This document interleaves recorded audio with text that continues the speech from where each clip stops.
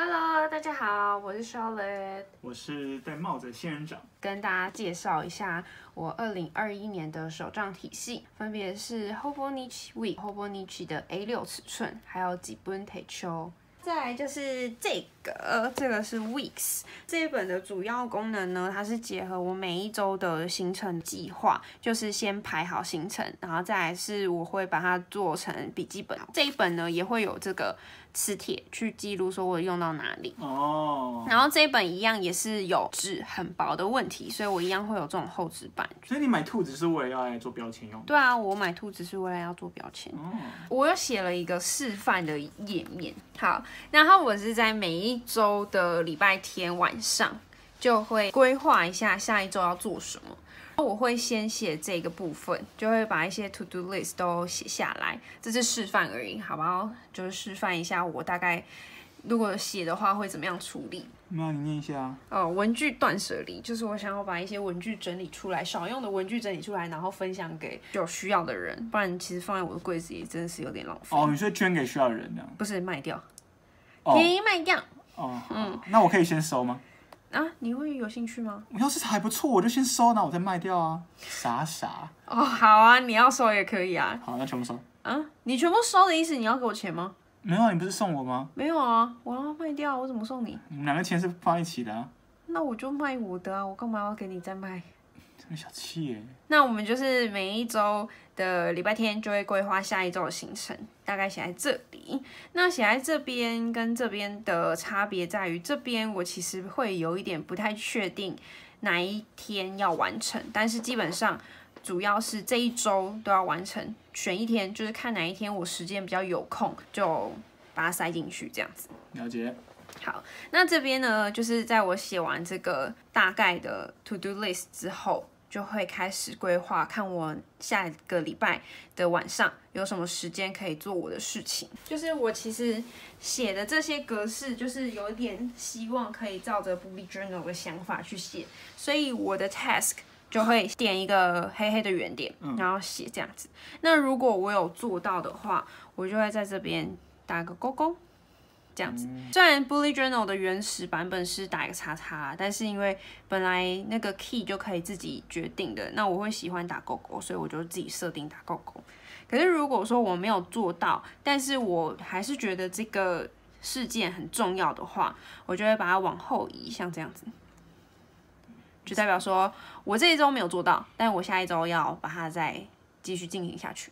嗯，为什么不是给箭头放在右？这样子啊？对啊，有没有一种给它拉出去的感觉？哦，对，拉到下面，拉到后面去。为什么会在这边？是因为统一这边会有一个确认东西有没有做完的一个效果。所以你如果放在这边，那你就是眼睛要这样看看看看看。统一都在这边的话，是不是就会比较好去观察？对。那如果是说这个东西我这个礼拜没有做到，可是我觉得已经不再重要，我不想要再继续做的话，我就会打个叉叉。就是代表说这个事件已经取消了，这样子。对啊，我也知道。早睡早起。对。真的很想早睡早起。而且我发现你越说早睡早起，你可能就更晚起。那我就会更晚睡啊。对啊，你越想早起，你就更晚睡，这什么逻辑？我不知道哎，我不了解。很奇妙。我真的要好好思考。我你不应该给他打叉，你应该给他打问号。他就是一个要研究的事情。对，要研究的事情。就然后后面两个写个问号，为什么？这到底发生什么事？那接下来到这部这个部分，这个部分就是我设定好每一天要做什么事情，然后一定确定好一定要做。比如说我这一天要准备脚本，那这个脚本其实有点像是拍 YouTube 影片分出来的一个 To Do List。嗯。所以这个可能是一个很大的。事件，嗯，然后我可能在完成拍 YouTube 影片之前，会需要分很多动作，所以我也会把这些分出来动作写在每一天里面，去确认说我有没有按照这个进度去做，这样子。那你有时候会不会忘记，就是左边那一页的东西是右边那边分出来的小孩？嗯，其实不会，因为我其实虽然说我这边写了很多，但我其实每一周给自己的 To Do List 应该也是只有三四项。就不会这么多。那如果说这一周的重点在于拍 YouTube 影片的话，其实我就会知道说，哦，这个是为了要拍 YouTube 影片。那或者是你左边忘记写某个东西的，有可能。那怎么办？如果我忘记把它拆开来的话，很可能这个事情就会没有做完。对，就会没有做完，就会往后移。那是不是以后在右边写的时候就应该要先给它拆开？对，照理来说是这样，所以我都是会先写 to do list，然后确认好说我这一周的重点是什么，然后开始分配我的小事件或是呃必须执行的一些片段、一些小计划，要怎么样分配在这一周的时间里面。那比如说右边你平常都会用到满吗？不会，那要不要就是在右边写 to do 的时候，同时在右边也写它的分分出来，然后左边再抄哦，我懂你意思，就是有几个动作对，比如说 YouTube 就是哦写脚本，对拍摄、剪片，对，那是这个地方你都要做完，你就会有三个选项。就是勾勾勾这样吗？对对对对，嗯那你在左边你在对的时候，你也会确定说，哎、你都有这，其实可以用很简单的字嘛，不需要写很多字嘛，比如说你写脚本、剪片，对对不对？对。那你左边就可以脚本、剪片，甚至你还可以用一些数字来，代替，就是这边刮胡几个勾勾这样子。对对对，嗯其实好像也可以试试看，这样就可以确保说，我这个东西至少我知道 YouTube 影片需要分很多个嗯。步骤去做，对，那有没有分到？分到这边来，这边你可以去去看说，哎、我是不是分到，还是我没有分到？对对对对对，嗯，好，好，这边有分成黑色跟蓝色，呃，黑色是我自己要做的事情，蓝色呢是已经定好的行程，比如说我礼拜天晚上要去吃晚餐。就会先写，那你这样子，你黑色的部分就必须要减少，因为你没有时间在做黑色的部分。我这边的写法也会比较特别，就是呢，前面会有时间，然后是什么事情，然后跟谁一起。假设跟花花，所以我也不知道花花是谁，然后在哪里，我我也会稍微标记一下这样子。嗯哼好，OK，那大概就是这样。好，那你有什么问题吗？你还是不要创造出虚拟朋友比较好。你会害怕是吗？对，他到来找你怎么办？我最常使用的其实就是周计划的页面，我就可以一个礼拜去很好的去预览，说我这个礼拜要干什么，然后这边就是空白的笔记页面。那除了这两个页面的话，我觉得这边后面也很好用，就是这个笔记页后面有蛮多的，你看它的其实还蛮多，这后面全部都是笔记页。嗯好，所以你有什么临时要记的话，我觉得就带这本就很方便。我刚刚不是在这本有写了很多目标嘛，嗯，那具体实现的 step by step 我可能就会写在这里。所以你其实平常比较常用的是右边那本。比较常带出去是右边这本，嗯，因为它比较轻便，然后就是可以很确切知道我每天要做什么事情。行程。对行程这一本的话，就是每天回家一定会写，所以其实使用的频率都是一样。一个主要是用来看，一个主要用来写的。哪一个是看，哪一个是写？右边是看，看左边是写。写。好是你花的写的时间会比较多在左边那边。好，所以这一两本对我来说都是缺一不可，就是非常重要。好，再来另外一本呢是这个，这个单纯就是娱乐使用。你看它的颜色就很缤纷。嗯，我原本的设定是就是拼贴的练习，看你拼贴啊，对。然后可是其实我今年的拼贴没有很多，就是。对。但是因为我就是没时间，你看我一月整个就是空白，完全空白，空白，空白，空白，空白哦，。你会照顺序贴哦。嗯，照顺序贴，照理来说应该要啦。哦那后来我就想说算了，就是我开心就贴，没有贴就算了这样子。然后这个是我之前贴的记录，噔噔，漂亮吗？哎，那猪好可爱哦。猪？哪里有猪？左边那只啊，这个？嗯，这个是兔子，你看它鼻多像猪鼻子。乱讲话。好，这是你喜欢的那个和服系列。对啊，很可爱啊。好，然后这个指甲带我也有开箱，所以如果大家有兴趣的话，可以去看一下我的影片。好，接下来是这个，怎么了？我想起来，他们就是在深山里面，就是煮烤动物的动物哦肉吃。好，过年的时候我有拼贴这个，是不是很有喜气的感觉？感觉 牛角面包两个。牛角面包，二零二一年希望大红大紫这样。嗯，好，那目前拼贴就只有这三个，所以 你干嘛？你取笑我？好啦，就是希望说之后可以多多使用。但是目前我就觉得，其实我对一个本子这个如果没有使用完，我也觉得是蛮开心的，就是它陪伴我度过这一段时间。好，然后再来我要分别讲一下我的心得。又来抱怨了哈。对，就是他们呢，就是缺一不可。但是其实如果说他们都可以结合成一个本子，我会更开心、更简便。主要来说这两个好了。其实这一本啊，就是很大程度已经满足了所有我想要记录的事情，像是每一天的打卡记录，或者是我想要读的一些书，还有电影的记录都有写在里面。但是为什么还是需要这个呢？就是因为它是每一天是这样子翻过去、翻过去的，然后其实你很难去很宏观的看说每一周你要做什么事情。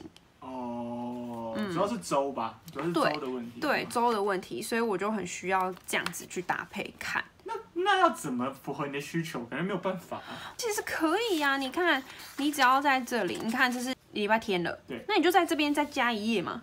那然后嘞？然后这边加一页，然后这个版式就是就是这样，每一周这样，然后再搭配这样，每一页这样过去。哦哦。对对对对对对对。了解。我记得台湾的品牌有一个有做成这样，就是 Take a Note。推荐吗？其实蛮推荐的，如果大家也喜欢他们的本子的话，也是可以上网参考一下。我可以入手的吗？可以可以可以可以。它是便宜的吗？呃，它的价格应该六百块到。八百块吧。哦，那我没有办法。好，继续。好，然后这是我觉得需要两本本子的原因，但是我觉得也是蛮好啦。你看，其实你说你刚刚说提到说，如果它放在前面，你需要翻来翻去，那如果我两个本子是不是就可以这样摊开对照，比较方便？其实也不错啦，其实也不错。然后再来是为什么我还是需要这个本子？是它这个就是有空白的笔记页。那如果你写在这边的话，你很容易每一天、每一天、每一天就翻过去，然后就不见了。哦，你重点笔记就消失。对，所以可是如果你翻这个话，其实就是你会知道说这边全部都笔记，那你就可以一直看、一直看。所以其实分两本其实还蛮合理的。对对对对对，所以嗯，目前同时使用这两本是蛮好的。了解。还有这一本啊，我有个比较用不好的地方是这个，基本上都没有在用这个。这是什么？这个就是。每每一个月的开始的目标，然后想要做的事情、不想做的事情之类的，对我来说就是没有那么必要。因为没有目标的人。因为我的目标会写在前面，我就会写在这里，我就会写在这里。嗯嗯，然后目标我就很明确，就是这个月摊开来，我这几天我可以把目标写上去，这样子。所以你就是说，那个是那个也是月目标，这也是月目标，是吗？是等于重复。可是它其实下面还有一些事情，就是一些检讨、反省啊，然后嗯，开心的事情啊，想要见到的人啊，去哪里地方啊，想要学习什么，买了什么东西。我就觉得有点杂，有点没有那种必要，所以我完全就不是每一格都有用，那还不如就给你一个空白，让你写就好。是，就不要规定你去写什么这样。对。可是我觉得它可能是做到一个提醒的作用。可能，可能就是比如说你可能要建立你自己的人脉。然后你可能有些东西是要买的，去想一想。对对对对对。可是对我来说，我没有那么必要的话，就不会用到。不要那么 negative chain。Yeah yeah，好，然后就结束。啊，这一本我其实真的也是蛮喜欢的。好，然后这一本用不好的地方呢，是在这个月计划。基本上就没什么在用。你很讨厌月计划，你刚刚也是月计划讨厌。因为我都是用周做一个单位。我知道了，因为你没有把它当成工作上使用的一个。对，我没有工作上。那这对上班族其实还蛮方便，因为我们可能会说，哦，我们这两个礼拜要完成某个 project。对哦，基本上我现在本子都是使用在我生活跟我自己个人目标，我没有把它用在工作上，所以就会有一些功能可能好像没有必要。对对对对对对对，可能可能如果你是商务人士的话，跟谁约很简单的写在这里很方便，可是我就是不需要。我上班的时候我有自己的这种东西，对，我也会去排说，哎，我哪一天要做什么事情，哪一天什么事情发生这样子。哦，好，然后目前这一本我的规划本来就是为了我的目标、个人目标的实践，还有我的 YouTube。排程，所以对目前我就是一个月应该只能上两次影片，然后这边这样子，所以月计划部分我没有用的很好，但我也觉得没差，因为这没有影响到我目标进行。目前使用下来是蛮习惯的，就是有一些区块是没有用到，但是本来写手账就是服务你的生活，那如果真的没有用到，那就算了，这样子。是你服务于手账，还是手账服务于你？我服务于没有手账服务于我。你刚刚都已经讲出实话了，好，那去年的时候就已经设定好的手账体系，那今年使用下来大概一个半月心得跟大家分享。我真心真心跟大家推荐这本。我想要用那个那个月那个周的那本哦，周的，因为就你本身就不需要记录这么多事情嘛。你不是蛮喜欢这种吗？哦，对对，我想勾勾勾。对啊，这个很棒哎，这就是我这今年用下来这最爱的地方。那你要送一本？可以啊，哎，现在因为已经过了买手账的时间，所以其实它要打折。好，所以下一次我们来开箱露露的手账。莎蕾帮我买的手账，谢谢。露露的手账，好，约定好了，真的哈，好啊。你想要买什么？